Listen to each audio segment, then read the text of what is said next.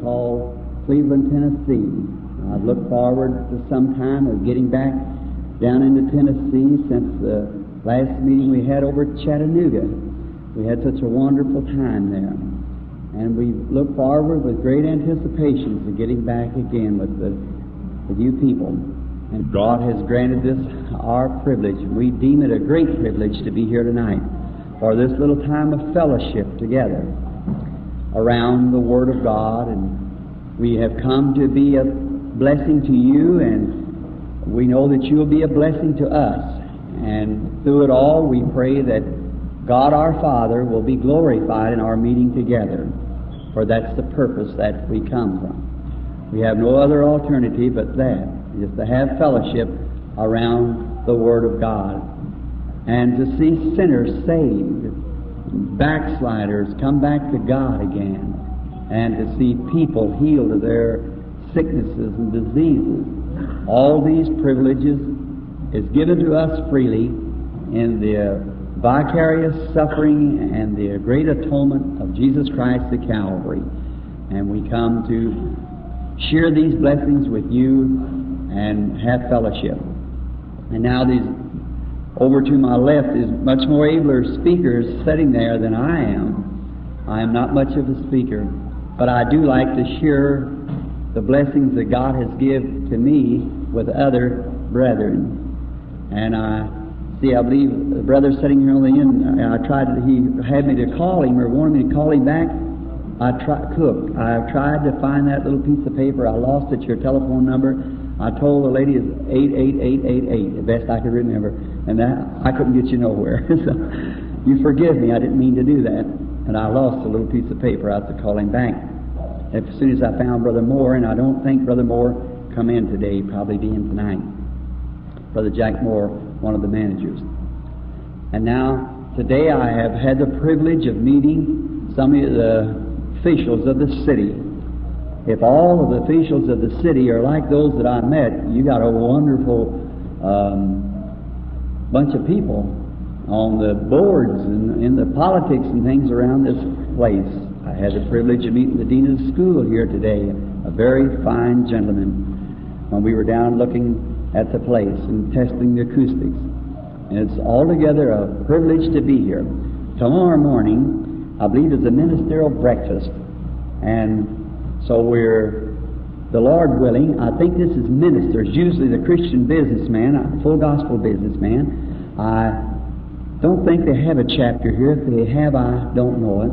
I think this is to be ministers. So I think tomorrow morning to speak with them, I will share just a few of the experiences that we've had internationally around the world in serving the Lord Jesus, which I believe would be a better help. Call ministers, they they know they're preachers themselves, so we share our our fellowship together around the things that the Lord has done. And and I think Sunday I'm to speak at a church here in the city, and Sunday night the closing service, and Saturday night tomorrow night praying for the sick again.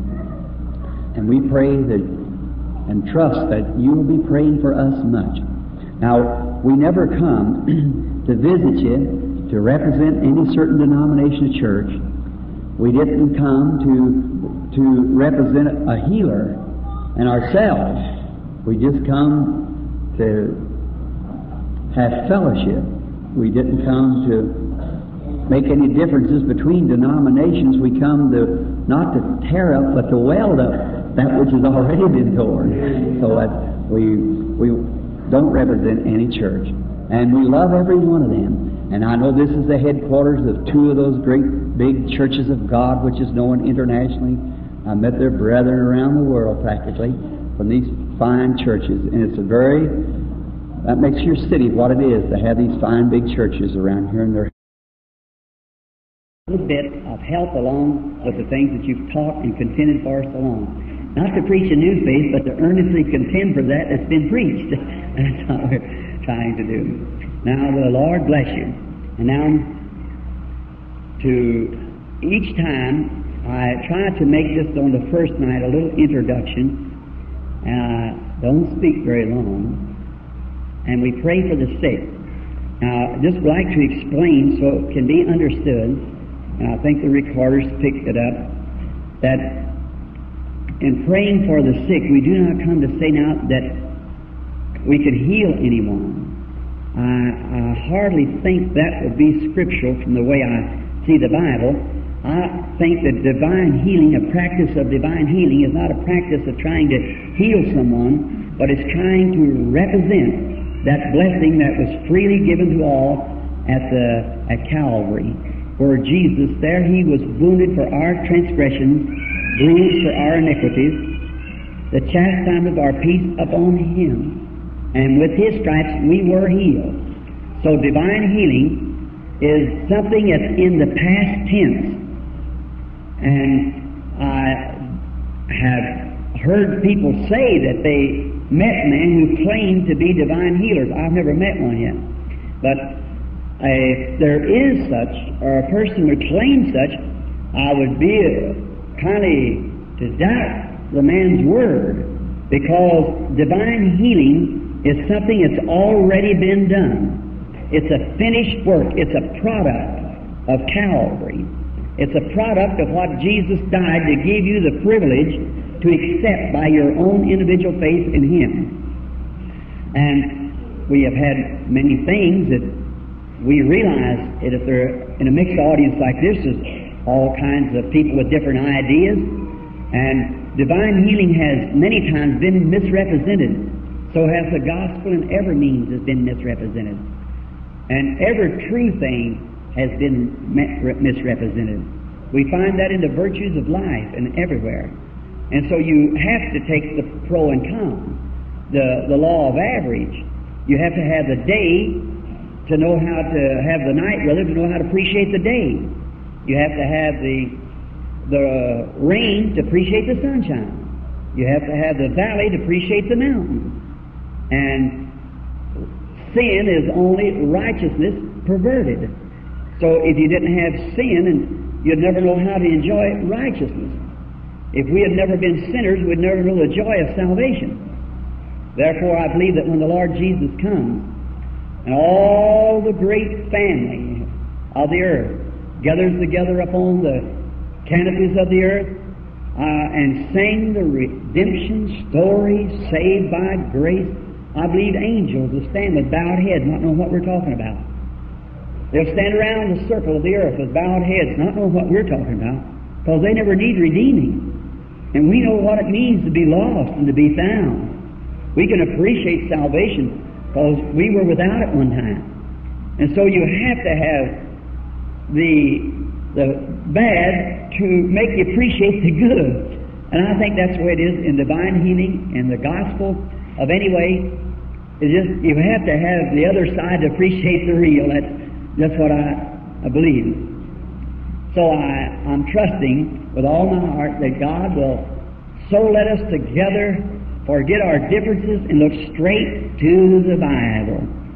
And I believe that every teaching must come out of the Bible. And I know that God could do things that's not written in the Bible. He can do anything He wants to because He's God. But I'm always a little afraid that we get off on some sort of a fantastic if we, or some illusion, if we didn't stay with the Bible. If it's in the Bible, then I believe it's the truth because God said so we got, thus saith the Lord. I have noticed many times that, that sometimes we might get, uh, and it does happen that way. We get built up on a fantastic or some little phenomenon or something, and we run off with it. But if you'll just keep it right in the Bible, then you got, thus saith the Lord, and God will honor His word. My word will fail. Your word will fail. And no man's word is, no man is any better than His word. If you can't, if I couldn't take your word, I, I just can't believe you, that's all. And that's the way I believe God. This Bible to be His infallible word. And if He has wrote this Bible by, sent it by inspiration, it's been written by several men in several ages, and not one word contradicts the other all the way through. And it's inspiring. I could read a text here tonight, and I will in a few minutes, God willing.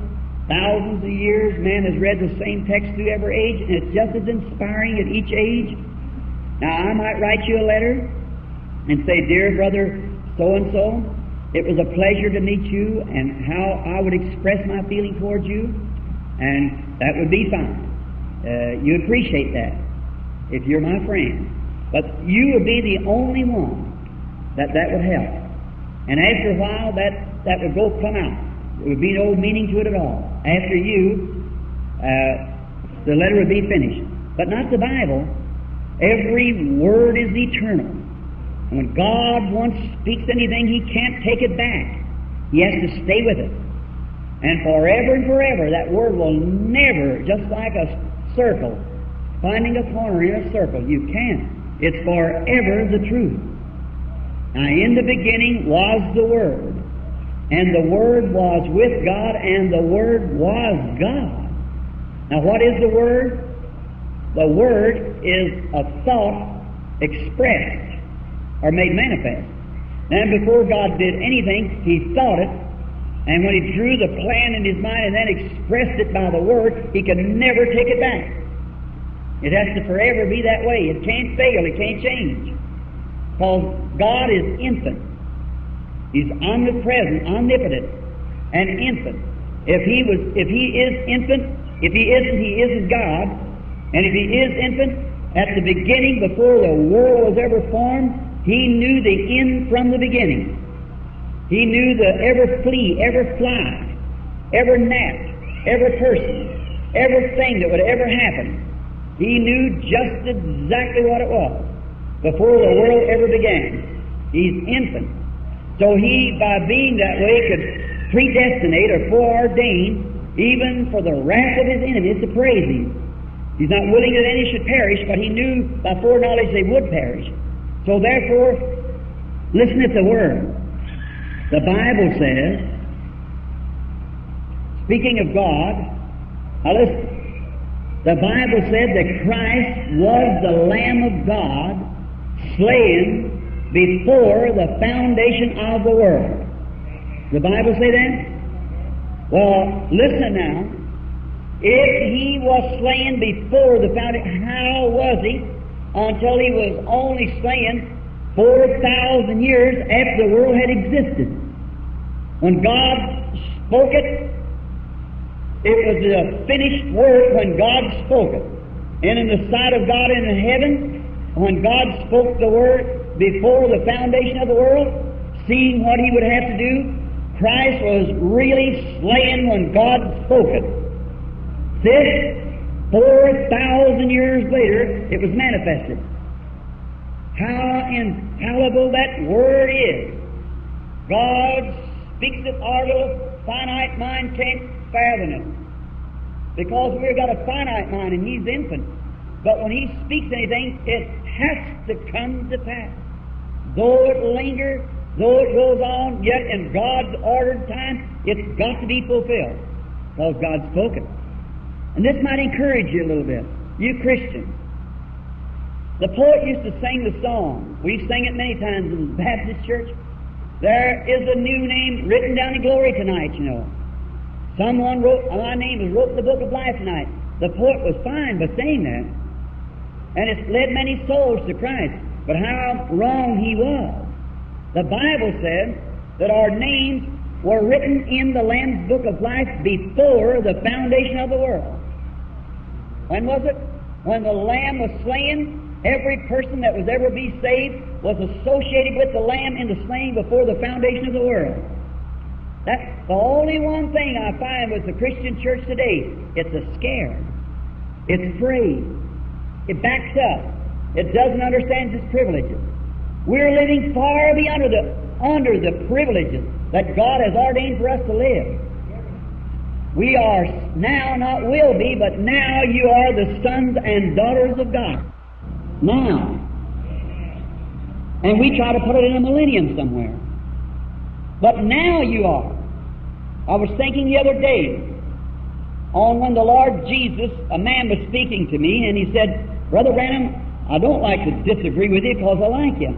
He said, but you try to put divine healing and powers of healing in the church today when it is not. I said, well, now, brother, that's only according to what people think, the way they look at things. I said, perhaps we'll do this. I'll show you in the Bible where God gave the church power to heal the sick and raise the dead and cleanse the lepers and cast out devils. I'll show you in the Bible where He gave that power. Now you show me in the Bible where He took it back from the church. It isn't there. He gave it, and once given it, He cannot take it back. He's God. If He would, the man said, Well, it's such a privilege for people to sit in wheelchairs and suffer and show God's goodness and so forth and suffering. I said, Then Christ defeated His very purpose when He healed the sick, then, if God takes pleasure in the people being sick. For He healed the sick whenever He come in contact with them. He healed the sick then if it's God's will for people to suffer then. If He did, Christ defeated His own will when He. Oh my, what kind of a gospel would you have? See? God doesn't run His office. You wouldn't run your office like that. I wouldn't mind, you wouldn't yours. How about God running His? See? God works at one purpose. That's to save and to be good and to do everything He can. It's His pleasure to give His blessings bountifully to His people. But we fail. Not because the power is not in the church. Because the power is not in the Pentecostal church, the Methodist church, you Baptist, Presbyterian, Lutheran, whatever you are, you've got the power, but you ain't got the faith to move that power. Look at these disciples in Matthew the 10th chapter. Jesus gave them power to heal the sick, even to raise the dead. And ten, about ten days later, we find them miserably defeated. They had a man with epilepsy and couldn't cast the devil out. And Jesus said to them, Oh, faithful generation, how long will I suffer you? Bring him here to me. And he healed the boy. And when he healed this boy, what's taking place? The disciples come around and say, Well, why couldn't we do it? Now, Jesus never said, I took my power back from you. I just let you have it for that one mission you were on. He never said that. He said, Because of your unbelief. That's right. Not because of the lack of power, but the lack of unbelief to operate the power that you have. And if we could ever get it straight in the Word and let the people see it, it operates itself. As soon as the people sees what it is. Now, notice these same disciples and how petty people can be, how juvenile and grown-ups can be. In our organizations and in our denominations and in our affiliations and so forth, in our creed, we end them with a period when we ought to end them with a comma. We believe this plus as much more as God let us know. But if we end it with a period, that settles it. That's all. We don't care about what God wants to let us know. We just, this is all we want. And there's what we've done when we made a mistake. Now watch. These same disciples, a few days later, they met a man casting out devils. He was getting the job done. And so they were very jealous. So they, he goes down and he said, now here, you either come join our rank or don't you do that no more. And the man let him know that he didn't have to join their denomination, their rank. He went up there and he heard Jesus say, Whosoever will, so he just received it and went on. And he was getting the job done. While the disciples said, We forbid you. In other words, we'll boycott you. We'll do all of this if you don't do it. Went back and told Jesus about it, and Jesus said, Now don't you do that. Said, Because no man can do a miracle in my name that can speak lightly of me, and him's not with me, scatters abroad. So there you are. You see what it was? Little petty jealousy of those disciples that was in man then is still in man today. That's right. Because the man was getting the job done. And many times we find people who are getting the job done and don't belong to our ranks, then we want to fly up about it. But it's just that same element, and if it was in the church of 12 that walked with Jesus, it's bound to be in this one and all the rest of them. That's right. So, brethren, we are here to represent the Lord Jesus Christ and His resurrection, and we pray that you'll fellowship around the Word with us. Shall we pray just a moment? Our divine Heavenly Father, we thank Thee for the Lord Jesus Christ, for bringing Him here on the earth and making Him an example of what you expect man to be. We see him hanging on the cross, suffering, making a way for all these things that we now can appreciate and enjoy. And little do we know how to appreciate them, like we will someday when the veil's lifted. And we see him laying in the tomb, white and silent, embalmed with a Roman spear through his heart, nail prints in his hand, mockery spit on his beard. Then we see the power of God manifested as we see Him raised from the dead, standing at the tomb, all hail, with a torchlight of hope in His hand, the torchlight of power. We see Him gradually being taken up from the earth and giving this commission to go into all the world, all the world, and preach the gospel to every creature. And now only one third of the world's ever heard the gospel. To all the world, to every creature, and these signs shall follow them that believe. These signs shall, he said. And we're so thankful tonight to be associated with a group of men and women who believe that. To be the infallible Word of God in the general orders and the last commission from our Lord. That we will try to do reverently with all our heart as long as Thou will inspire. And help us tonight as we enter into this three days of fellowship with Thee, with Thy Word, and with these brethren.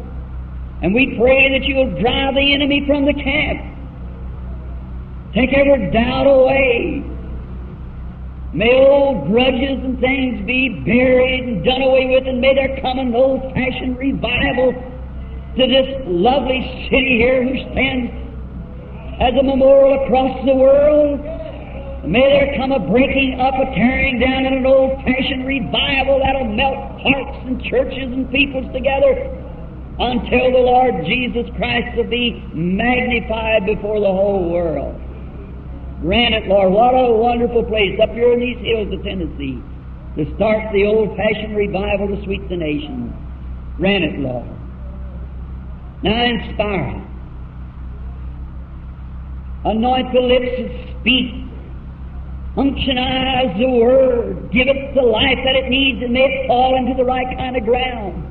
May it be received with joy. That the people that receives it go and sell all the worldly things out, all the devil's possessions, buy this great pearl of great price. There nourish it to their hearts and live hereafter for the Lord Jesus.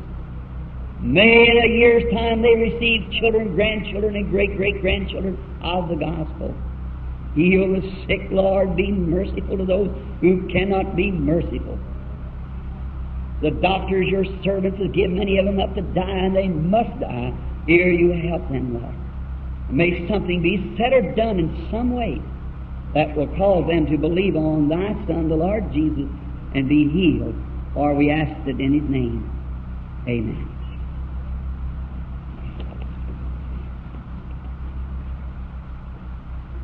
Now to open the word to you who like to read and mark down the different scriptures that we use, and I know we can't keep this auditorium open too long. It's a school auditorium. And we appreciate the courtesy of this school. God bless them abundantly. And we wish to turn now to St. John, the 12th chapter, and want to begin about the 20th verse and read just a couple of verses by this way that if my words never take effect, these words will, for this is God's word, and His word never fails. And therefore, if we get no more than just the reading of the word, it'll be a blessing to be here. And there were certain Greeks among them which came up to the worship at the feast. And the same came therefore to Philip, which was of Bethsaida of Galilee, and desired him, saying, Sirs, we would see Jesus.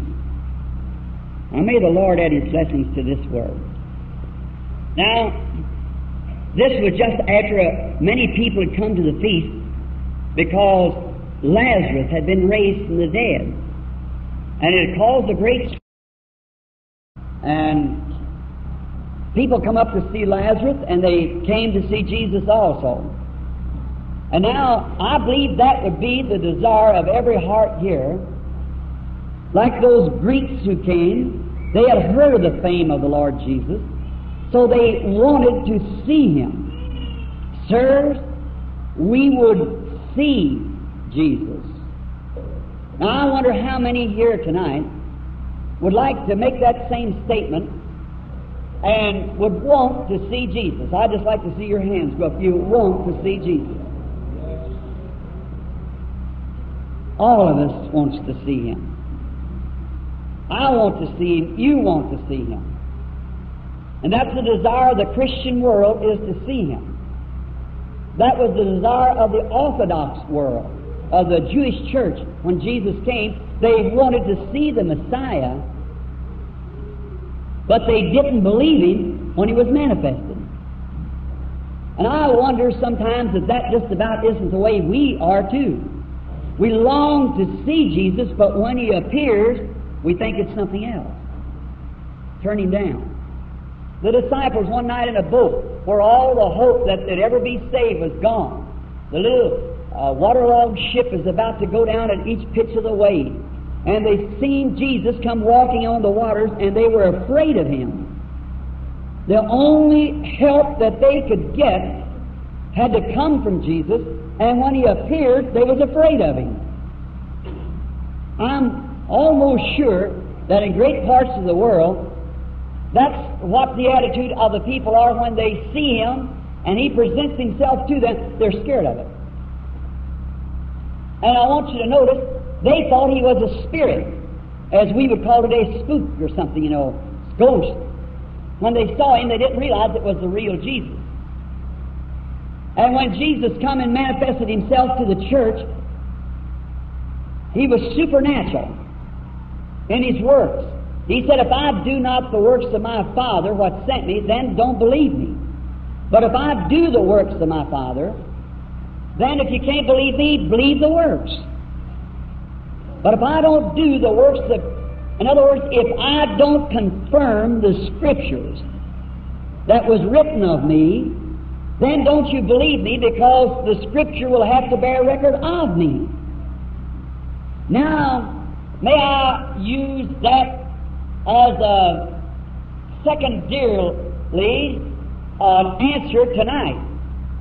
All scriptures has a compound prophecies, especially has a compound meaning or a compound uh, answer. Like out of Nazareth, I have out of Egypt, I've called my son Matthew one. But we find out he was calling, or the original scripture for that was when he called uh, Israel out of Egypt. It had a dual meaning. And may I add this tonight, likewise. When God's Word is preached, then God's obligated to that Word. And if He doesn't manifest Himself by that Word, you have a right to doubt Him. I would doubt it. Or if He made a promise and then didn't keep His promise, then that wouldn't be the, the God of creation. We'd be all mixed up in something. But if He keeps His promise, then if we doubt it, then, then we become sinners. Now, what is sin? Now, sin is not smoking, drinking, committing adultery, cursing, and so forth. That isn't sin. Committing adultery isn't sin. Smoking cigarettes and drinking whiskey isn't sin. That's the attributes of unbelief. Unbelief is sin. St. John 3 said, He that believeth not is condemned already. There's only two roads. One of them is unbelief and the other is faith. Jesus said, He that heareth my words and believeth on him that sent me has everlasting life. Not this, that, this, or that, but has everlasting life because he believes. And if you believe, your life bears fruit of your belief.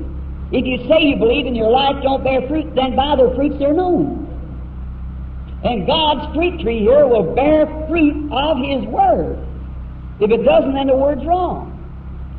If I told you I was a Christian and I love the Lord Jesus, and tomorrow you saw me on the street drinking and running and doing things wrong, you'd have a right to believe that I, I, my testimony wasn't right. See? Now, the fruit proves what you are. Now, if Jesus, how many believes He's raised from the dead? Say Amen. All right. That's the faith of the Christian church that Jesus has risen from the dead.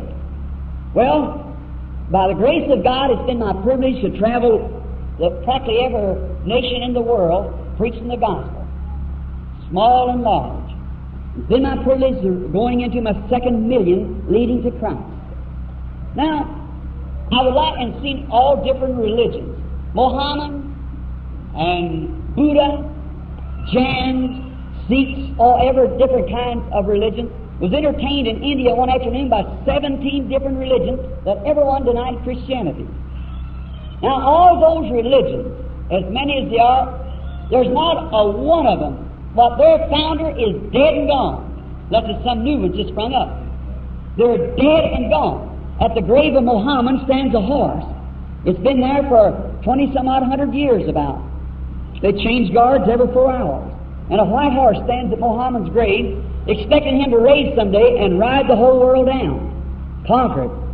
Muhammad, which was the son of Abraham too, but not to the woman which was free. Now, notice this. All other religions, their founders are dead. There was only one that says, I have power to lay my life down and take it up again. And that was Jesus Christ. Now, if that's true, then he is not dead. Then, as my campaign theme, theme has always been, Hebrews 13:8, Jesus Christ the same yesterday, today, and forever. Now, if Christ is the same, that scripture's right. We have no, if we doubt that scripture, then we're not Christians anymore, we're disbelievers. If one word of that Bible is wrong, then all of it's wrong. It has to be perfect because an infant God wrote it. Now, if that scripture, which we know is right, says that Jesus Christ is the same yesterday, today, and forever, He's got to be the same in principle, He's got to be the same in power, He's got to be the same in attitude, He's got to be the very same Jesus, or He hasn't risen from the dead. Now, if the Bible said that He is the same, then He's got to be the same. If the Bible said He is the same and He isn't the same, then the Bible's wrong. Now, we, you, I believe in everything being, it's either right or wrong. You never seen a drunk, sober man in your life? No, sir. You never seen a black, white bird? no. It's either right or wrong. And that's why I believe God's Word. It's either right or it's wrong. The promises are true or they're not true. Not long ago, a famous man was converted and received the Holy Spirit in my room. He come to me with such a heartbreaking story and told me what happened how that he was totally defeated by Muhammad. Morris Reidhead, president of the Sudan Missions, biggest in the world. He said, Brother Branham, an Indian boy came over and was was went to school here in a good good college, and I think I don't know what he learned. It might have been electrical mechanic or something. On his road back, I, he said, I said to him, Why don't you denounce your old dead prophet and receive a resurrected Lord Jesus? And said the Muhammad said, Kind sir, what could your resurrected Jesus, as you call him, do for me any more than my prophet? Said they both wrote books, yours called the Bible, mine's called the Koran. Said both promised life after death, and we believe it. Said, what good could your Jesus do me than my Muhammad ha- can do? Well, Dr. Reidhead said to him, said, well, he could, uh, my Jesus is raised from the dead, and your Muhammad is still in the grave. He, the Muhammad said, did he? I'd like to see you prove it. Oh, he said, we know that he raised from the dead. Well, he said, you've had 2,000 years to prove it. And said, one, only one third of the world ever heard his name. He said, let Muhammad raise from the dead, in 24 hours all the world will know it. And says he will raise some of these days, and the world less than 24 hours will know it, because he'll conquer it. He said, but your Jesus died just like my Muhammad and said, You can't prove it. And Dr. Reed said, Now, wait a minute. We can have joy, the Spirit of God in our heart. We rejoice because that we know that Jesus raised the dead. He said, Now, just a moment, Mr. Reidhead. Mohammedan religion can produce just as much psychology as Christianity can. So we're just as happy, can shout just as loud, expecting Muhammad to return as you can Jesus return. Dr. Reidhead said, I knew I hadn't met some overnight person. That man knowed what he was talking about. And Brother, Jesus never did commission us to go into the world and build churches, although they're good, and to do these things and get great organizations and so forth. He never did tell us to do that. His commission was preach the gospel. And the gospel come not by word only, but through power and demonstrations of the Holy Ghost. These signs to follow the believer. And we've done everything but what he commissions to do. That's why the world hasn't heard it because it's the weakness of human theology and not the power of the resurrection of Christ. And he said, Mr. Reidhead, said, Let me, Muhammad only promise life after death. Your Jesus promised you believers would do the same thing he did. Now let us see you believers, we Muhammad, which are three to one to Christianity in number. So let us, Muhammad, see you Christians produce what your teacher said, then we'll believe you raised from the dead. Well, he said, now I suppose you're meaning Mark 16. He said, that's one scripture. He said, well, now, I said, we, the, the lower class of people, they kind of humble over that and say it, but we better scholars know that Mark 16 from the ninth verse on is not inspired. He said, Mr. Reidhead, what kind of a Bible are you reading? He said, all the Koran's inspired. See there the defeat? It's afraid. Now here it is. I don't want it to hurt, but I want it to get out in your lungs and heart. See? It's afraid to face the issue. It's afraid to call God's Word right. And you're trying to dodge around it. All the Koran's inspired. But then it's part of the Bible far as just the part that you want to be inspired. Well, then if it all isn't inspired, then it isn't the Word of God. And the Bible said that Jesus raised from the dead, I believe Jesus raised from the dead. That settles it. Now, here some time ago on the Ohio River where I lived, as a little boy went out and asked his mother, said, Mother, God is so great, can anybody see him? She said, Ask the, your Sunday school teacher. Well, they asked the teacher, and the teacher said, Ask the pastor. The pastor said, No, no one can see God. He went up the river to the island, six miles above Jeffersonville. One day he was coming down after a storm. A rainbow come out. The old fisherman pulling his boat. He looked up at the rainbow and started crying. White beard as the tears run down his cheeks. The little fellow, so enthused, he run forward and he fell down. He said, Sir, I'm going to ask you a question. Nobody seems to be able to answer me. Can anybody see God? The old fisherman pulled the oars in his lap and grabbed the little boy and said, God bless your heart, honey. All I've seen for the past 40 years has been God. You have to get him in here to see him out there. He has to dwell within. Jesus said, A little while and the world will see me no more. Yet ye shall see me. For I, and I is a personal pronoun, I'll be with you, even in you, to the end of the world. That He is the same yesterday, today, and forever. Now, if we would see Jesus, and He's omnipotent, omnipresent, He's got to be in Cleveland tonight. Or he made this promise, wherever two or three are gathered in my name, I will be in their midst. Now, if we gather here tonight in Christ's name, you can about face him coming out of the corridors of heaven, walking down to be here. If it isn't, his word's wrong. And if it's wrong, your faith's wrong, your hope's wrong, you're lost. There's nothing to you. Longfellow said, Tell me not in mournful numbers that life is just an empty dream. The soul is dead that slumbers and things are not what they seem. Life is real and life is earnest. The grave is not its goal. Dust thou art, to dust returnest was not spoken of the soul. Lives of great men all remind us we can make our lives sublime with partings leave behind us footprints on the sands of time. Brother, footprints is possession. Ministering brother, don't be afraid to put footprints where God has told you to go. Amen. It's possession. He told Joshua, everywhere the of your feet set, that's yours. Amen. We don't back up. We take what God said, and that's the truth. No matter what the opposition is, how great it seems and how difficult it seems, if God said so, it's yours. When he gave it to Joshua, he said, I'll take all, all the Hittites and Philistines and give it to you. Joshua had to fight for every inch of ground, but God was with him. And every inch of ground you'll cover, brother, to make footprints, you'll fight your way through. But take the sword of the Spirit, brother, and move right on. Footprints is possession. If we went tonight down into the city to find Jesus, what type of person would we look for? I just want to see if he's the same yesterday, today, and forever. What type of person? We will look for some person dressed different from other men? Someone maybe the great big turban on top of his head, great long gowns a flowing from him, walking down the street. If he's the same yesterday, today, and forever, he wouldn't be dressed like that. Because he dressed like common man, walked among them, and they couldn't tell him from anybody else. That's right. And we will look for men that use great, big, swelling words, that studied all day for great words to speak to their audience who doesn't understand what they're talking about. Certainly not. Jesus talked in such simple street language until today it's got the translators confused. They don't know how to take it because the words that they speak on the street was so much different from their high classic till it confuses them now. You, when I, the worst place I, Oh, where I needed an interpreter worse than anywhere else was London, England. When I heard those Cockneys speak, I didn't know what they were talking about. And one time I called from, from Shreveport, Louisiana. I was calling to New York City, and right here in America, they had to get someone at St. Louis.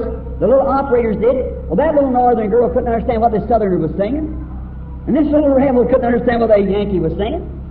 And they had to get somebody to interpret between them right here in the United States. So Jesus used the common language. This, Brother Branham, I thought you did preach under the Bible. That's right. The Bible said the common people heard him gladly. He talked like they could understand. Where would we find him? In the great high cathedrals and big places of the city?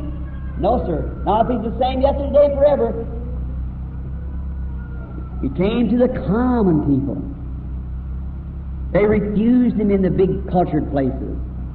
They had a classic of their own. And he didn't fit in with their program. I hope he would today. He might not.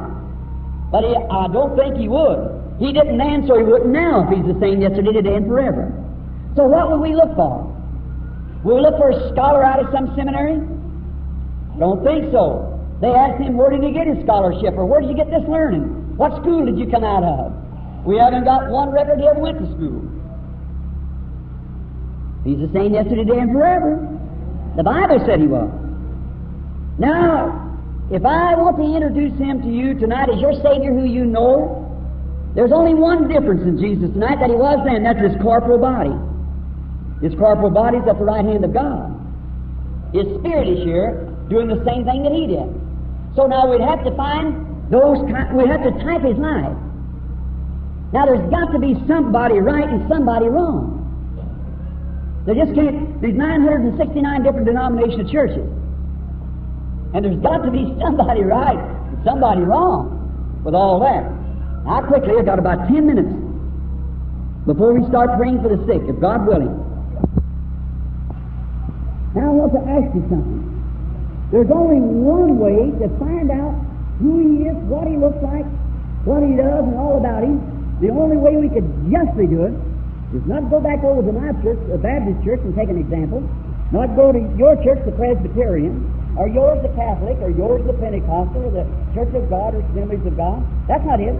But go back to God's Word and find out what he was. Let's see. We know the Christmas story. That's fresh to us. We had it last week or two. Now let's take him when he went and entered his ministry. As soon as he entered his ministry, John the Baptist, which was the one who introduced him being the greatest prophet of all the ages, was John the Baptist, and Jesus said so, vindicated him as the greatest, greater than Elijah, greater than any of the rest of them, was John. Because he introduced the Messiah. The rest of them prophesied of him coming, but he said, Behold the Lamb of God that takes away the sin of the world. He had the privilege of introducing to the world the Messiah of God. And John knew him because there was a sign following him. The supernatural. And anywhere in God's Word where Jesus appears or the Holy Spirit appears, supernatural's there.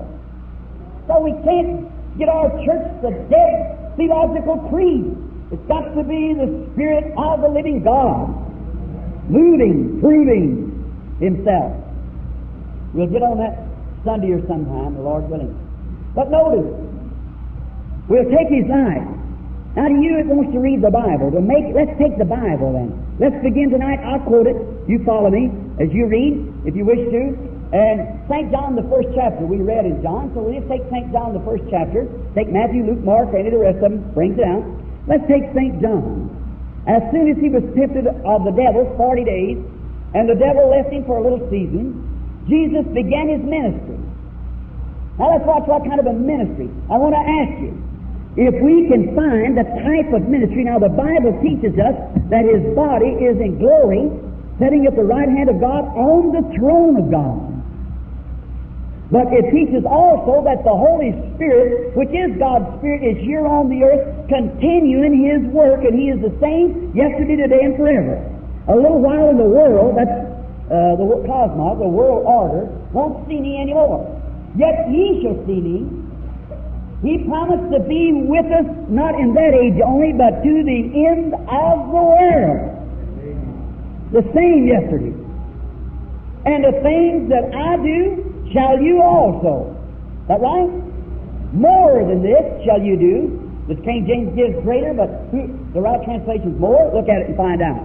More. You couldn't do greater. He stopped nature, raised the dead, and everything it was to be done. More than this shall you do, for I go unto my Father. Yet a little while the world sees me no more, yet you shall see me. Ye shall see me. How long? Every generation to the end of the world. Oh, I love that. That's God's Word. That's where the Holy Spirit teaches, right there. Right on that man shall not live by bread alone, but by every word that proceedeth out of the mouth of God. And let me give you sick people something right here. Jesus was, well, he was God. God was in Christ, reconciling the world to himself. He wasn't just a philosopher. He wasn't just a prophet. He was God. A woman said to me not long ago, I don't mean to call anybody's religion. You'd know if I have to make the source Christian science. And she said to me, Mr. Branham, you put too much emphasis on deity of Jesus Christ. You make him a God. I said, he wasn't a God, he was the God. She said, Oh, Mr. Branham, he wasn't divine. I said, Oh, yes, he was. She said, You brag too much on him. I said, I can't brag enough on him. Said, Well, if I'll prove to you by the Bible that he wasn't nothing but a man, just an example, will you believe it? I said, If the Bible places it that way, I believe the Bible, yes. Because there's where my hopes are set on the Bible. And she said, I'll prove it to you by the Bible that he wasn't divine. The Bible makes it clear that he wasn't divine. I said, let me see it. She said, St. John, the 11th chapter. Jesus going down to the grave of Lazarus, the Bible said he wept. I said, well, what's that got to do with it? She said, well, that proves he wasn't divine, for he couldn't weep if he was divine. I said, that's fitter than the broth made out of the shed of a chicken that starved to death.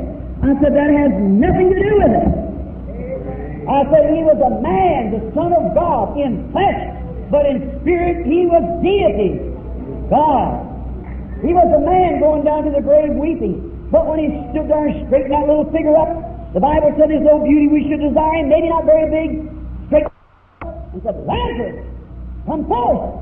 And a man been dead four days, stood on his feet and lived again. That was more than a man. That was deity speaking through lips. I said, it's true. He was a man when he come down off the mountain hungry, looking around on some trees there to find something to eat. When he searched the tree over to find some figs, and he couldn't find nothing to eat, and he was a man when he was hungry. But when he took five biscuits and two pieces of fish and fed 5,000, that was more than a man speaking. That was a man hungry, but God feeding. Right. He was a man. When he lay in the back of that boat that night, when 10,000 devils of the sea swore they'd drown him, and the winds a blowing, a howling, the mast poles broke the oars, the little ship waterlogged and her plunging, the devil was lightning gleaming on top of every wave and glistening his eyes and shining, I got him now. He was a man laying in the back of that boat where the winds and waves didn't disturb him. He was a man laying there asleep, tired like any other man. But when he put his foot up on the brail of the boat, looked up and said, Peace, be still, and the winds and the waves obeyed him. That was more than a man. That was deity speaking from him. It's true that he was a man when he cried at the cross. My God, why hast thou forsaken me? He was a man living there, uh, hanging there on the cross. But when he rose on Easter morning, breaking the Roman seal and opening up the tomb, he proved he was God. Or the poet said, living, he loved me, dying, he saved me, buried, he carried my sins far away, rising, he justified freely forever. Someday he's coming, oh glorious day. Thrill the hearts of every man and woman and poet or anything else that ever lived from that time to know that he was more than a man. He was a man. He was the God man. God was in Christ reconciling the world to himself. I can see him as his ministry starts. We'll follow in a few minutes. In his ministry, he began healing the sick, praying for the sick. Great signs begin to follow. Now listen closely. I'm going to be just a little over time. There was such a lovely audience to speak to. All spirit filled. What could happen here tonight? Oh. Then, as we see him, as a man standing in human flesh, but praying, and signs begin to follow him. There was a man got converted by the name of Philip. And as soon as he got saved, he wanted to find his buddy. His name was Nathaniel. That's a good sign he got saved when he tried to tell somebody else. And anyone that finds anything good likes to tell somebody else about it. So he goes around the mountain several miles, about a day's journey, where Nathaniel, a real staunch Jewish believer, orthodox, gun barrel straight, he goes around the hill to find him. Philip was out, uh, found Nathaniel out in his garden under a fig tree or a tree, a praying. And so he called him and said, Come see who I have found. Jesus of Nazareth, the son of Joseph. Now listen close. This, after he got through with his prayer, he raised up and said, Now could there be any good thing come out of a place like Nazareth? I think Philip gave him the best answer that there is to be given. He said, Come see. That's the best way to understand. Come and see. Don't stand off and criticize. Don't pass your opinion. Come see for yourself. Come on, he says, let's go back. You draw your own opinion. All right, I'll go. And here he goes around the mountain. The next day they come up in the prayer line where Jesus was, the day's journey around the mountain. Ah, here's Jesus. Let's look at him yesterday. Jesus is standing praying for the sick. Maybe Nathaniel might have come in the prayer line. He might have been out in the audience. He was somewhere. But the first time, now listen, the first time that Jesus laid his eyes on Nathaniel, he said, Behold an Israelite, in whom there is no God. In other words, there's a good, righteous man that's truthful. No guile. He isn't deceitful.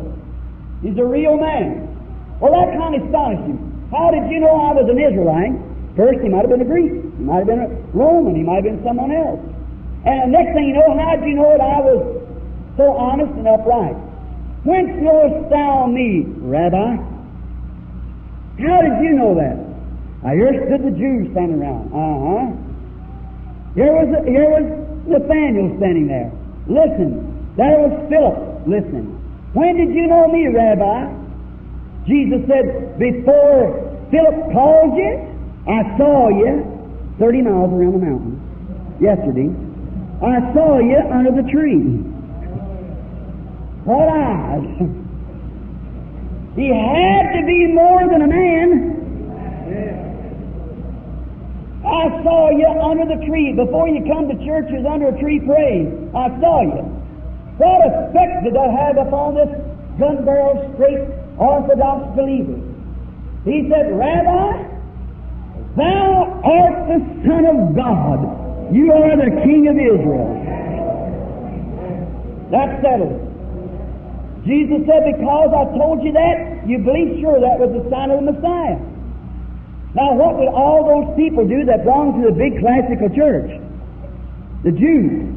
They said, This man is doing that by Beelzebub. Beelzebub. That was the chief of the fortune tellers, the devil. And we all know fortune tellers was the devil.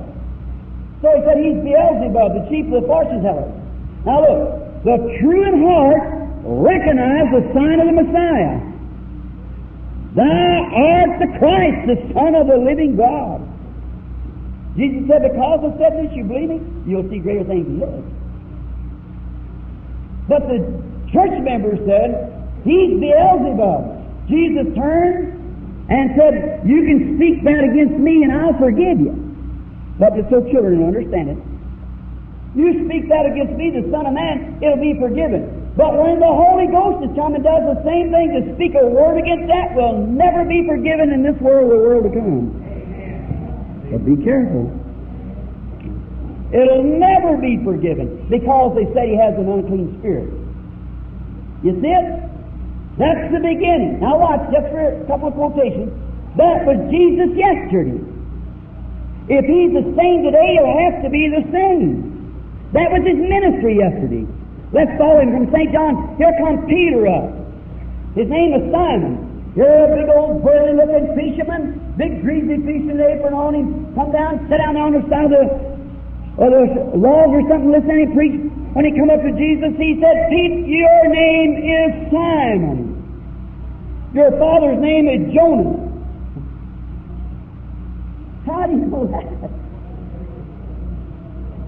Your name is Simon. Your father's name is Jonas, but I'm going to give you another name. Call you Little Stone from now on. Peter. I can imagine Peter saying, well, Lord, here I am.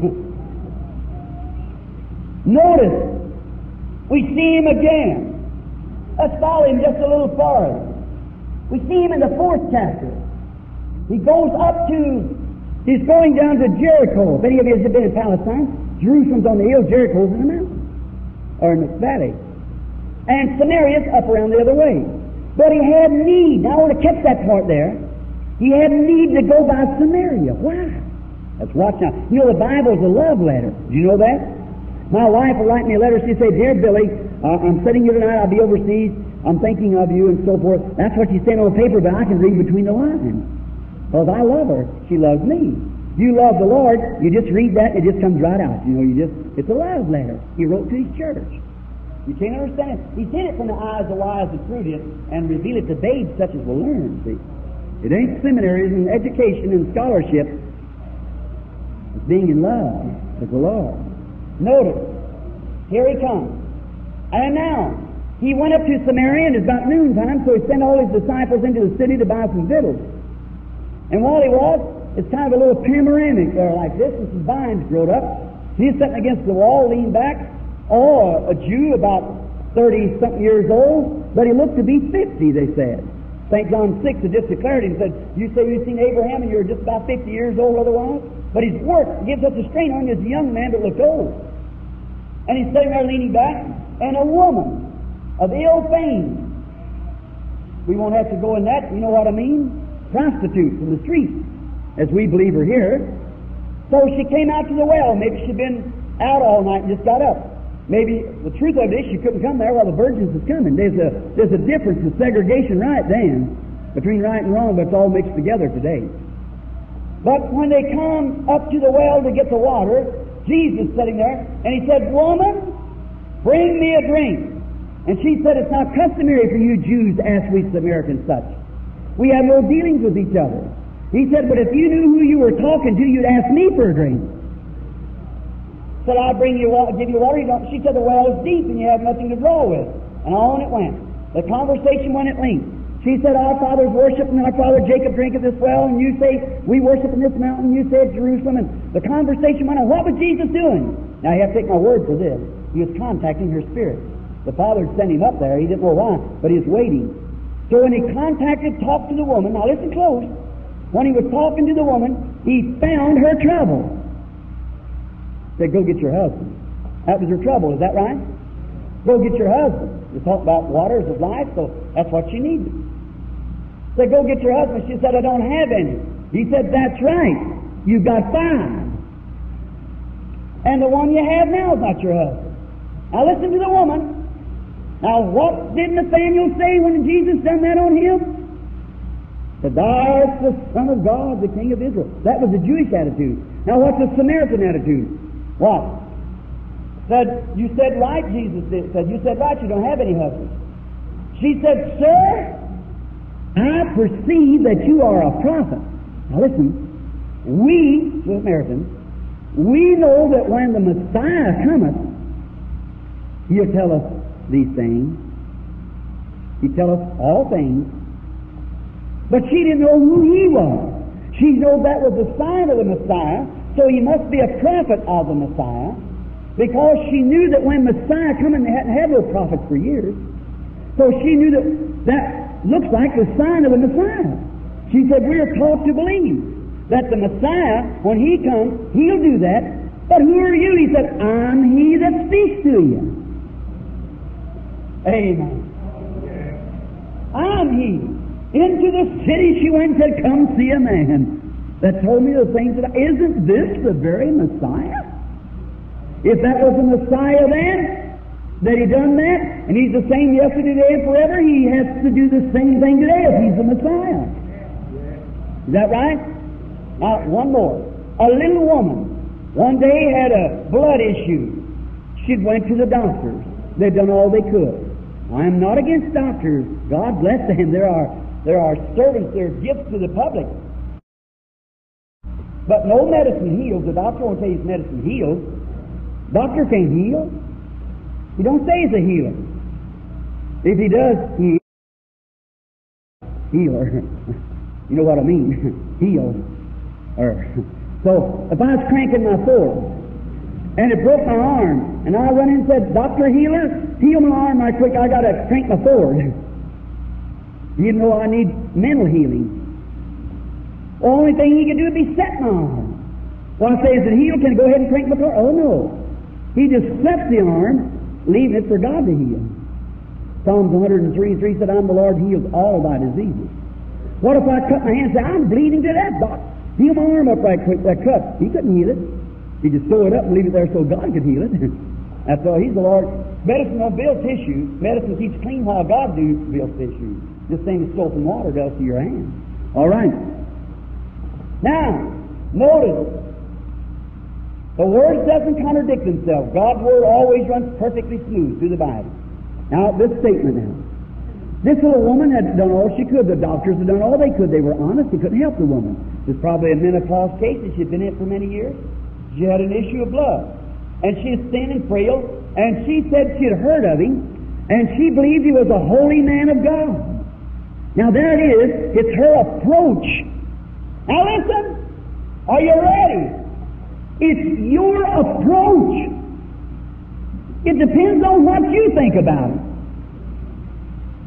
The woman touched his garment. Now, anyone knows the Palestinian garment hung loose, and there's an underneath garment on it too. And I'd never feel it, you touch my coat.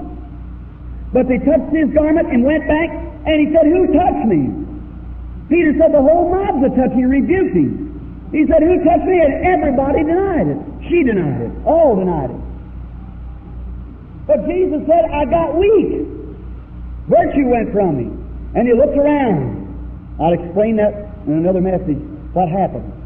But he looked around till he found where that stream was pulling. And he found her.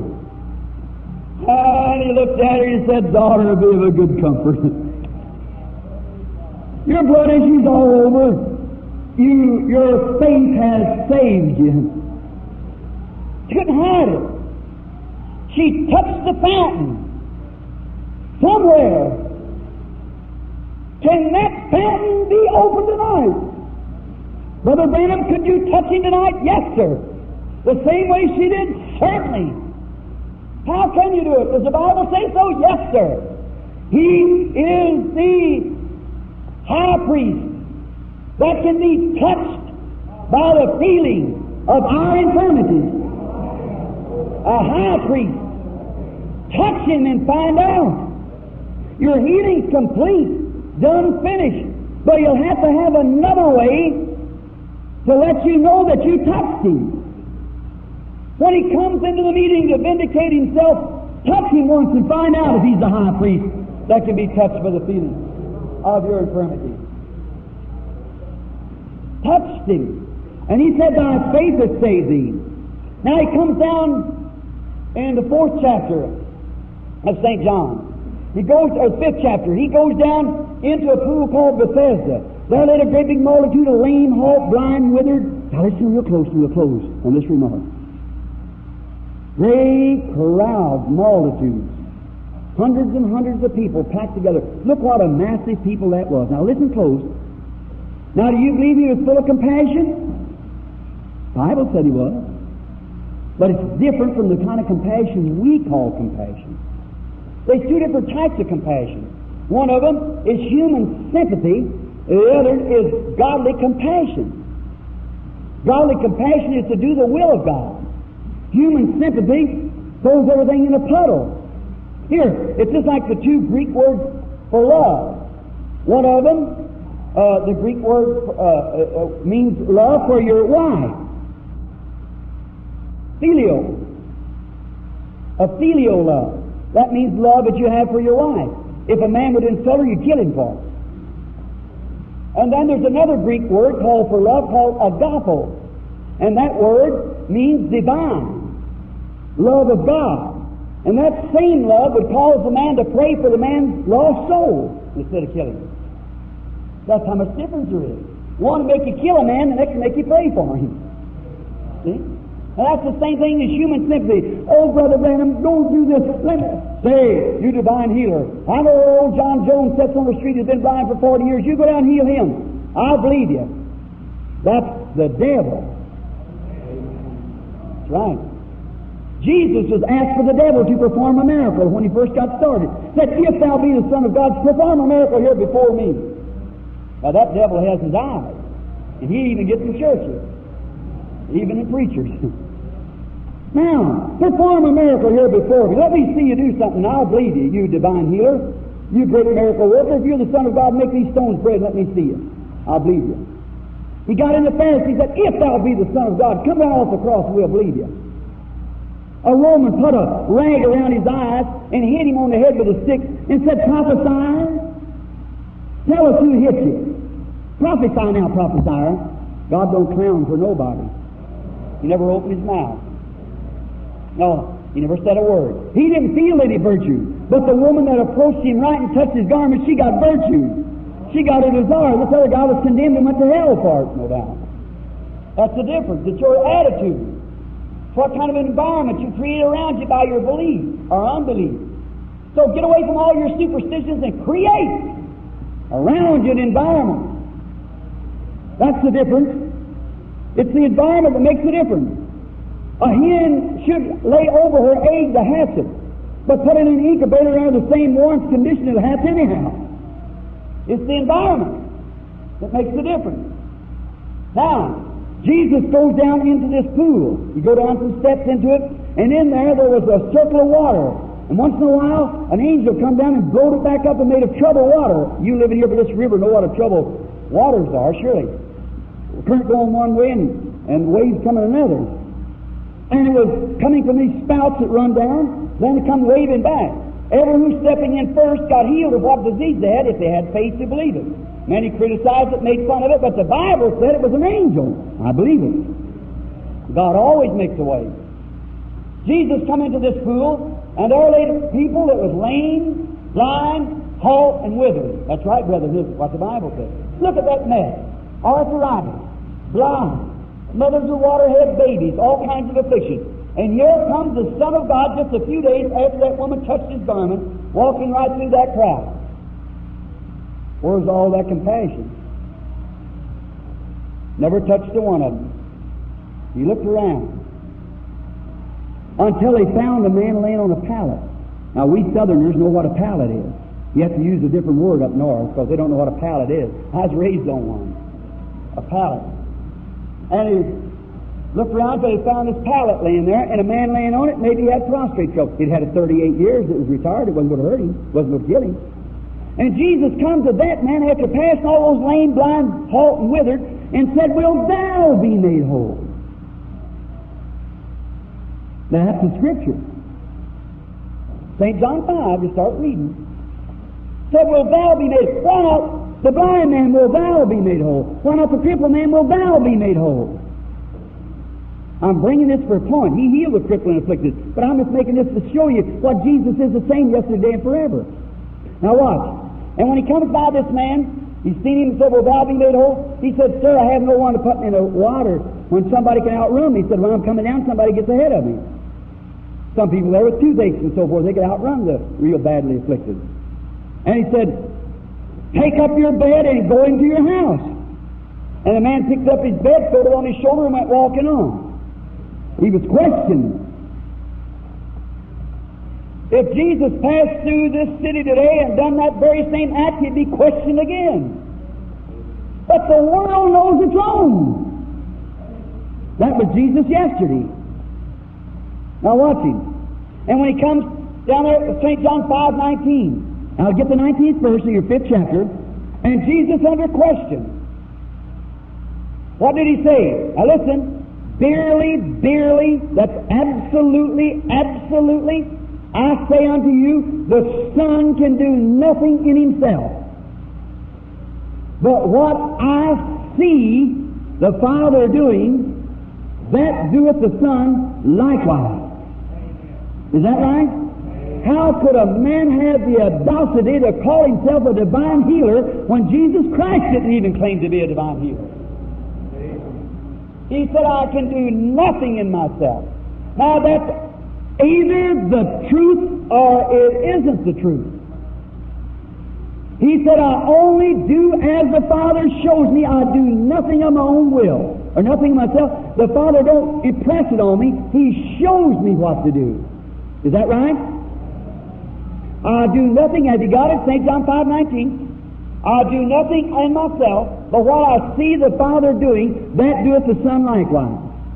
The Father worketh, I worketh the other two. In other words, I just act out in drama what the Father shows me to do. I just go do it. Look at grave of Lazarus. Father, I thank thee. Why did he leave Lazarus' house? You go away. They sent for him to come, he just kept on going. Your pastor do that, you'd, you'd ask him out of the next deacon meeting. But you see, he went on. And when he said he knew God had told him. Now, Jesus either told the truth or he didn't tell the truth. He said he'd done nothing till the Father showed him first what to do. He saw it in a vision first, and the Father showed him. He did nothing else but what the Father showed him. And the Father had showed him when he was away the certain amount of time. The Father, he said, Our friend Lazarus sleepeth, but I'm going to wake him. I'm glad for your sake it wasn't there. Of course, you'd be begging me to pray for him. I know it ain't the will of God. I'm going to wake him up. To be buried and lay there four days before I can wake him up, in other words. He knew it. And when he stood by the grave, he said, Father, I thank thee, thou hast already heard me, but I say it for these who stand around. Lazarus, come forth. That was always necessary. He did it because the Father had showed him what to do. Now, here it is, friends. Jesus said, now listen close. We're going to pray. He that believeth on me, St. John, I believe about the, Uh, the 14th chapter, the 7th verse. He that believeth on me, the works that I do shall he also. More than this will he do, for I go unto my Father. Is that what he said? These signs shall follow them that believe. A little while, and the world, the cold formal world, after his physical being be taken away, they won't see me no more. No matter what happens, they won't see me. But yet ye shall see me. Now there's going to be a world till he comes, and there's going to be a ye till he comes. Ye shall see me, for I will be with you, I will be in you, I'll be doing the same thing that I done your, that I in my own flesh. I'll be in yours, doing the same thing to the end of the world. Then Jesus Christ is the same yesterday, today, and forever. Now, the Bible said that God has set in the church first apostles or missionaries, both the same word. How people ever want to be called missionary, I don't know. I think apostle's better. But apostle means one sent. What does missionary mean? One sent. Apostles, prophets, that's seers, evangelists, pastors, and teachers. Five different offices God has set in the church. You can't cut part of them out and leave the rest of them. You've got to take them all. God has said it. A pastor's not an evangelist, evangelist not an apostle, apostle's not a seer, and so forth. It's all to the edifying of the body of Christ.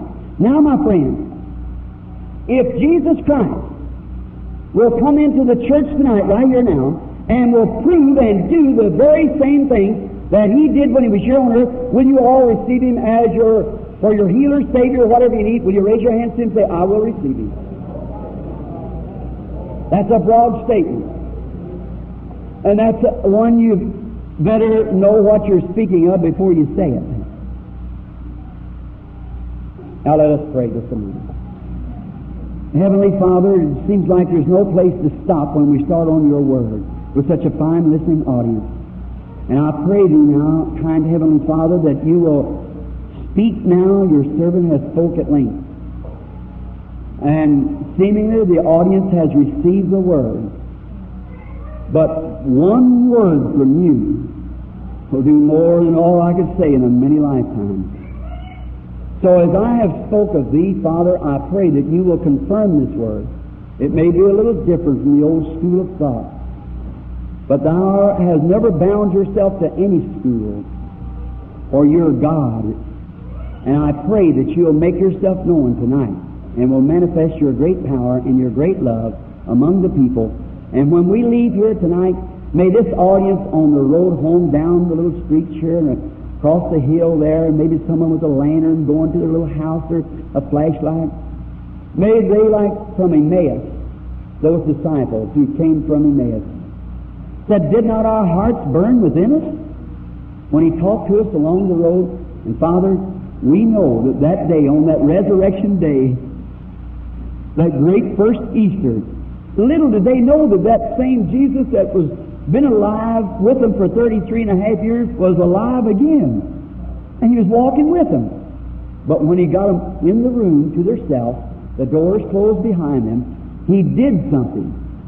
Just like he did it when he was here on earth, before his crucifixion. No man could deny it, for he is the only one who could do it. And they recognized it was him, because he did it just the way he did before his crucifixion. And it proved that he was the same.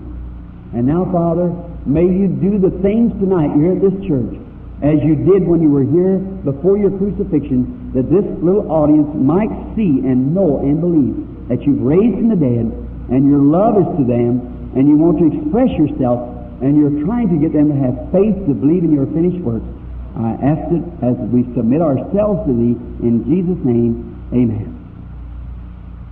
God gives the preacher but his office. Now there's some man-made preachers, there's some God-sent preachers. See, man-made preachers are just out for money and things.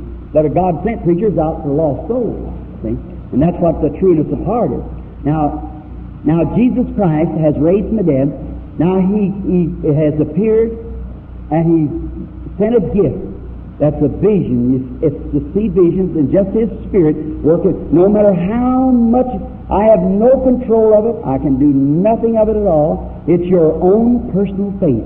Maybe tomorrow night I'll get into that. For you see, it's not me, it's you that does it. Now, we can't call everybody to the platform at once. We have to call them and just let some come as they can. Each day we give out prayer cards so newcomers come in can get it and we'll call somewhere along in them each night to get a few people up here praying so you can get to praying out there. But watch the Lord heal ten out there to one here. It's your faith no matter where you are. God knows you and He knows, knows what kind of faith you have. He's bound, you, He's a high priest. It isn't touching me, it's touching Him touching me, it'd just be like your husband or, or your sister, your wife, or whatever you're touching, you see. It would just, but touching him is divine. Touching me is just a man touching him. No matter whether you're here or not, it's whether you're here or not. It's in your heart. Now I believe. Now I believe the boys give out some prayer cards that I forgot. How? One to fifty. All right. Prayer. What letter? T. All right.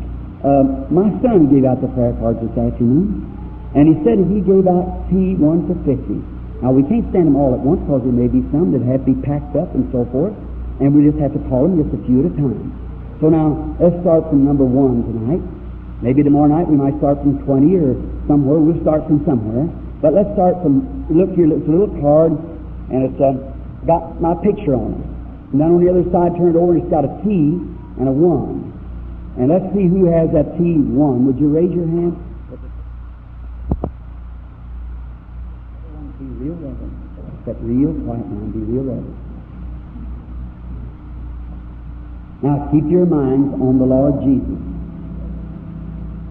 And be in prayer.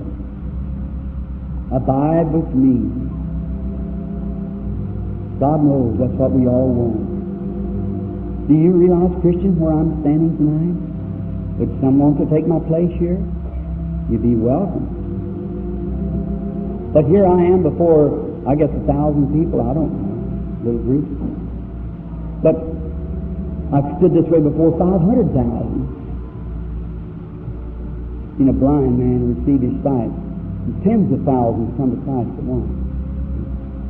Now, this Bible I have said is the Word of God. Now, it's either the truth or it isn't the truth. I'm basing not on Hebrews 13 8 that Jesus Christ is the same yesterday, today, and forever. The things that he did then, he does now. Or the Bible's wrong and I'm found a false witness. If he does do the same thing, then you disbelieve it. Well, that's between you and God. I trust that you won't, but we'll believe and will receive the same benefits for your very lovely people. Now, Father, into thy hands we commit ourselves, our spirit. And I realize, Father, no matter how much that you would anoint your servant, I could not do nothing except the audience also would believe. For you went to your own country, your own city, and it said many mighty works he could not do because of their unbelief. So I pray that you'll make all unbelief vanish tonight and prove yourself alive, the same Lord Jesus. May they not look at the illiterate person who speaks, but may they look to the Word of God which has called it and claimed it. And God has promised that He would do it. And may they be said maybe like when Peter passed through the gate called Beautiful, they taken heed and know he was ignorant and unlearned, but taken notice that he had been with Jesus. And may that be tonight. And may you do something tonight now, Lord, the same things that we have spoke of. May you come and perform that same thing, that the people might know that you have risen from the dead, and you're here alive, and love us, and want us to believe you. And now I yield myself to thee with the audience. In Jesus' name, we pray that you will get glory from the service. Amen.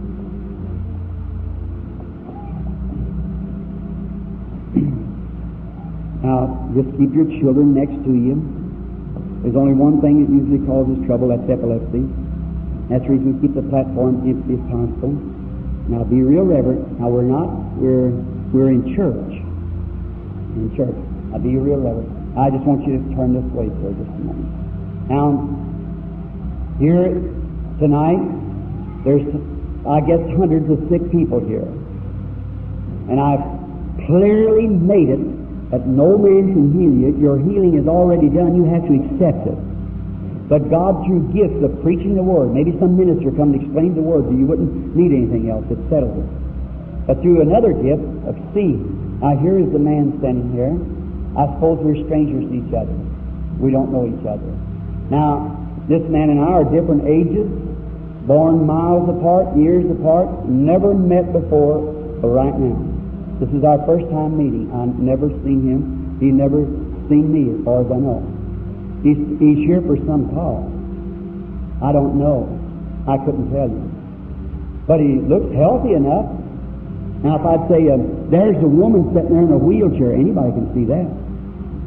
I'd say there's a lady sitting here glasses on. She's got bad eyes. Anybody can see that. But what's matter with this man here? There's the miracle. Now, if Jesus has raised from the dead, He knows this man. He's known him ever since he was born. He knew him before he was born. Yea, before the world began. He knew that we'd stand here tonight before the world began. He knowed it would be a testimony to you if he so make before the world began. Now the man could be an infidel, could be an atheist, he could be a critic. If he is, watch what happens. If he's a Christian, watch what happens. I don't know. God does. Now you see the position He put you in? First time I've ever seen meeting. Now Jesus is raised from the dead, and he was standing here tonight with this suit on that he gave me down in Africa. And now if this man was sick and say, Lord, I want you to heal me, what would Jesus say? I've already done that. Child of mine, don't you know I he don't do things twice. He can only do it once. He can't make an atonement for healing and turn around and make another atonement for it. He's done made the atonement and that settles it. But he would know him or do something like he did when he was here on earth before he was crucified to let him know that he was Jesus. Is that right? Now, if he'll do the same thing by this man as he did in the Bible time, all of you promise that you'll believe on the Lord Jesus, every one of you. Does anybody know the man out there in the audience? People, uh, yeah. raise your hands if you know him. That's all right. There's several here that know him. Now you know. Now may the Lord help me is my prayer. I don't say He will, but if He does, He receives glory and praise. Now, sir, in the Bible there was a woman who came to the Lord Jesus at the well, and He talked to her a few moments till He found where her trouble was, and then He told her where her trouble was, and she believed it. And there was a man came to him, And he told him where he was. He even told him what his name was. And told him all about himself. And he believed on the Lord because he told him he was said before he come he saw him under a tree praying. See, that was really wonderful. And this fellow knew that only God could do that. That would be God again, wouldn't it? Now you know, sir, that I'm just your brother. For I perceive that you are a Christian. You got a Christian spirit. So you're a Christian, and you're conscious that something's going on. It's, it's the presence of the Holy Spirit. That's all. That's all. But as the man stands there, the audience can still hear me. A man moves from me, and he's shadowed for death. The man has a cancer. That is true. Is that true? Raise your hand that's true. However, what he told you, that wasn't me. That was him. Now, see, just talking to him, more you talk to him, more will be told. But then, it just makes me real weak, see? Just gets weaker and weaker all the time. Because it, it's, it's him touching, see? Now, let's just talk a little bit, venture the first man. Just a moment to talk with him. Now, ever what he told you, that was true. You know, you if he can tell you what was, now I just say you have a, you're going to be healed. Well, then you have a right to doubt that because you don't know what the future holds. But if he knows what has been, you know whether that's true or not. That's right. Yes, I see the man again. He's got a shadow from him, and it's uh, it's cancer. Then he's he's got some kind of trouble at his home it's a woman. It's his wife. And she's had a stroke. And she can't talk. She's here tonight. Right.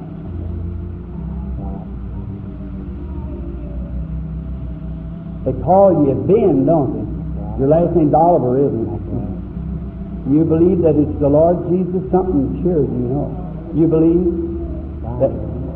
And Heavenly Father, Thou hast said, These signs shall follow them that believe. If they lay their hands on the sick, they shall recover. This I ask in Jesus' name. Amen. God bless you, sir. Go now. As you have believed, be it unto you as you have believed. And God bless you, my brother. God bless you. Now, everyone have faith and believe. Do you believe with all your heart? Now, be real reverent now. You're in the presence of the Holy Spirit real reverence. You have to know that this comes from somewhere supernatural. Now it's up to you what you allow it to be. Whatever you think of it, that's what you will draw from. Your opinion, your approach to it. Here's the man. I suppose we're what meeting first? I don't know you. But I don't know you. All right, sir then you're here for some cause, some reason. I don't know that, sir. You're aware that I don't know. I have no way of knowing that. Only except it would be revealed to me or showed to me. Now, if Jesus is the same yesterday, today, and forever, and I be His servant, and I perceive that, that you have a Christian spirit too, so you're a man and I'm a man. And here we are you are coming here for some reason to the one that loves you, and I'm just yielding myself to see what he'll say to me to tell you. He's wonderful. You're conscious that something's going on. Just then, that light, we'll have the picture of it here. It's copyrighted in Washington, D.C. It's copyrighted. And that struck you just then, because between you and I, there's a light now. That's the same, Jesus Christ is in form of light. The audience would know that. When Paul saw him on the road down to Damascus, he was a great light. And that was the same light that led the children of Israel through the wilderness, a pillar of fire. And you are you are not only a Christian, you are a minister. I see at the pulpit. and I see in a room begging or agonizing about something. What you're here for me, you want spiritual help, and you want me to pray for you that you'll receive spiritual help. And you're not from this city. You come from another city, and that city would be kind of north. And it's a big place where there's a lot of super highways run. It's got a great big place. Out. It's Washington, D.C. That's where you're from. But thus saith the Lord. And I see here by an elderly looking person. It's a woman. And I see her younger and she's holding you. That's your mother. And you want me to pray for her for she has heart trouble. That thus saith the Lord. You believe, sir? Our kind Heavenly Father, the Lord Jesus raised from the dead. And now I pray and bless this man in the name of Christ, the Son of God, that he will receive that which he has believed for. In Jesus' name, amen. God bless you, my dear friend. May he add his blessings. Have faith in God now. You out there in the audience, just believe with all your heart. Now, how do you do? We are strangers to each other, are we, sir? We never seen before, I suppose. You saw me from the audience, but never knowed you. This is our first time of meeting.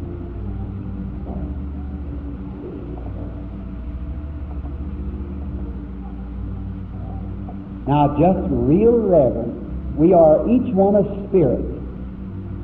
If I only, you can't crowd it into one night. What demons are, how they act, and their spirits too. We'll get to it a little later. Be real reverent. Something happened. You're ready. Keep praying. You, it's out in the audience. It's not going to be up here in the prayer line. Just keep praying. Something taking place. I was only conscious of it as I felt it by the Holy Spirit. Someone touched him just then. The high priest. Not me. It only answered this way. Now, the man, you know, I don't know you, and know nothing about you. But Jesus Christ knows you. He's known you since you were born. But I see you're suffering with a tremendous nervous condition. One of those types that hurt you. Makes you think deep and always planning things you never get to. Actually, never happens that way.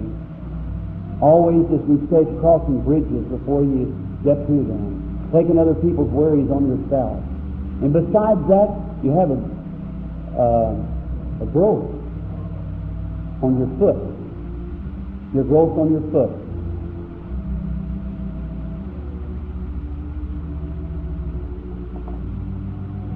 That lady sitting right there on the second to me in there, right here with a little white coat on, she has a growth too on her back. That's right, isn't it, ladies? It is raise up your hand. You also have bladder trouble, don't you? That's right, raise up your hand. So you touched him with the feeling you're both healed now. You're, you're both healed. Have faith in God. And down. Just believe with all your heart. So, what happens? Those spirits call one to another for help. You can understand. I can't explain it. There's no way of doing it, so you just believe it. Do you believe? All your heart?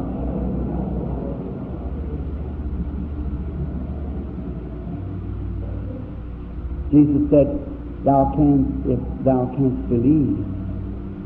If thou canst believe.